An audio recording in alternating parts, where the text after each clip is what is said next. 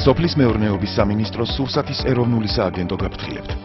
საქართველოში 2016 წლიდან გავრცელებულია ინვაზიური მავნებელი მწერი აზიური ფაროსანა. იგი დიდსაფრთხეს უქმნის თხილის, სიმინდის, თესლოვანი და კურკოვანი ხეხილის სხვადასხვა სახეობას, კენკრონებს და ბოსტნეულ კულტურებს. მავნებლის ძლიერი გავრცელების დროს ზარალმა შესაძლოა მოსავლის ღირებულების 70% შეადგინოს. გახსოვდეთ, ერთი ფაროსანას განადგურება ნიშნავს მომავალი სეზონისთვის 200-მდე ახალი მავნებლის მოსპობას. დროულად ჩატარებული ღონისძიებები თქვენი მოსავლის გადარჩენის წინაპირობაა. თუ შენიშნავთ ფაროსანას დაუყოვნებლივ დარეგეთ ცხელხაზზე.